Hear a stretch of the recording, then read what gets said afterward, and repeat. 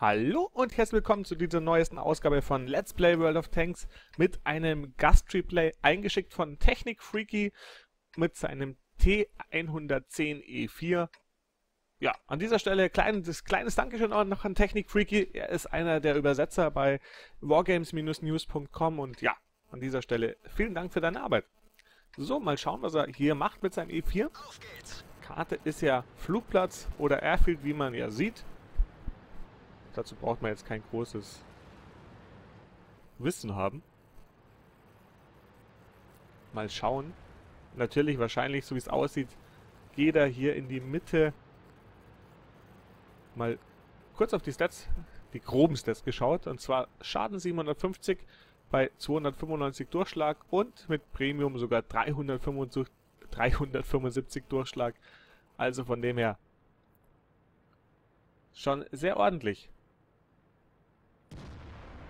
So, da drüben ist der, e der T71 und macht er den weg?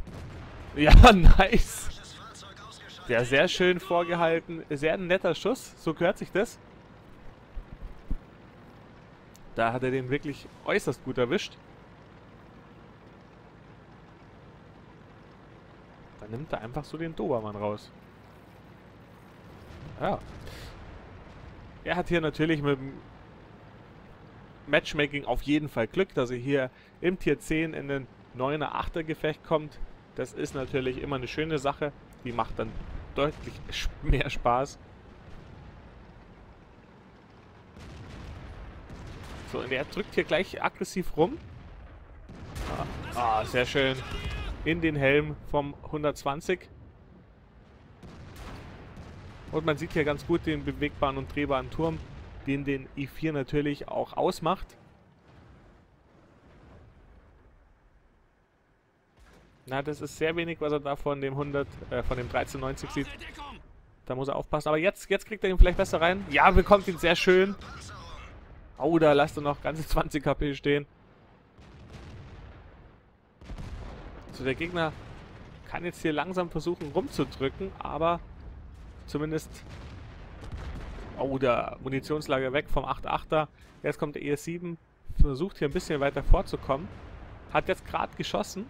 Jetzt wollte er gerade eben vorfahren, aber jetzt bekommt er da... Ja, sehr schön. Also man sieht, die Granaten fliegen auch wahnsinnig schnell. Da ist das Vorhalten bzw. das aus der Fahrt rausnehmen ein bisschen leichter. Also bei so einer konischen Kanone, wo die Schüsse so ein bisschen doof fliegen. Und jetzt hier der 1375 fahrt im letzten Moment noch zurück. Als ob er es gerochen hätte, dass hier gleich die Schelle einschlagen kann. Aber jetzt ist er wieder da? Nein, noch nicht. Boah, krass. Ähm, was ein Snapshot. Ja, nice. Also, dass er den 1375 da jetzt trifft, dachte ich jetzt nicht. Nicht schlecht, Herr Specht. So, jetzt sind sie hier prinzipiell gerade alleine. Also wenn sie jetzt hinten rum gerusht würden, hätten sie ein Problem, weil sie haben hinterhalb nichts mehr. Sehen wir uns doch mal an, bevor... Oder? Er nimmt jetzt den R100, da versucht er auf den und nimmt ihn raus, oder? Ja, nimmt den raus. Man sieht, hier ist nichts mehr, aber... Naja. Jetzt, jetzt drücken die hier zu zweit ganz gut rum. Oben STA. Rechts immer noch die beiden Scouts da. Da muss er ein bisschen aufpassen, nicht, dass er zu viele Hits ins Heck bekommt. Da kommt er jetzt gerade nicht drauf. Doch, Kisko kommt drauf. Alter Schwede. Ja, nice. Also den habe ich jetzt eher so gesehen, dass der nicht funktioniert, aber war jetzt auch gerade mit der freien Kameraansicht so, dass es, naja, schon ein bisschen spannender war. Und, Alter, der trifft ja alles. Krass, krass, krass. Ja, aktuell 4 Kills, 4200 Schaden gemacht und sehenswerte Schüsse dabei gewesen. Also da hat er hier ordentlich performt. So, jetzt ist hier genug weggesnackt worden. Jetzt kann er mal Richtung Mitte sich orientieren. Und dazu unterstützen gerade IS-8, E-75 sind alles so Panzer, die brauchen da auf jeden Fall noch ein bisschen HP abgezogen.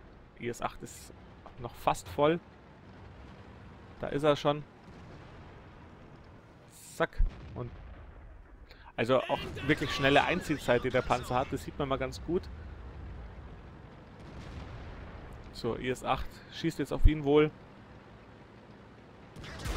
prallt auch noch ab, schießt auf die Kette lediglich.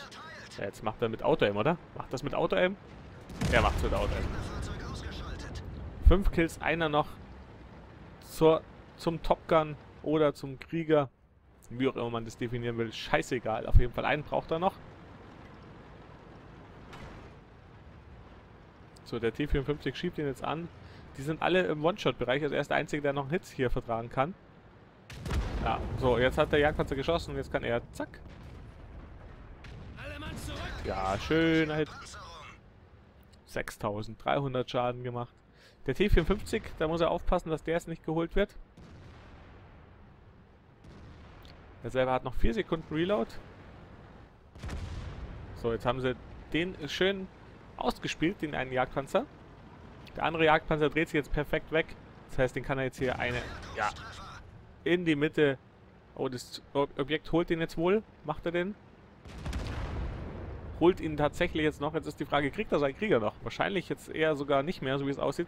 Aber 7100 Schaden, das muss man erstmal machen. Und das Game hat nicht lange gedauert. Also das haben sie ihre Seite da gut gerockt. Der Jagdtiger nimmt jetzt noch den 1375 aus dem Spiel. Der Waffenträger. Majestätischer Anblick. Fast schon majestätisch. Er schreibt jetzt auch One More Kills. Top Gun hätte er natürlich gern. IS-7 sagt verstanden. Also IS-7 lässt ihn den auch in dem Fall sogar.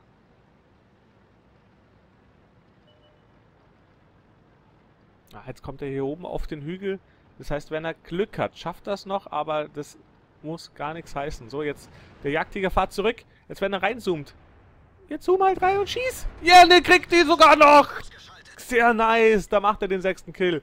7500 Schaden. An den habe ich jetzt selber nicht mehr geglaubt. Von dem her richtig gut. Technik Freaky. Schöne Runde. Glückwunsch zum Panzer. Mir hat es gut gefallen. Und ja, ich hoffe euch doch auch. Bis zum nächsten Mal. Euer Alcaramba.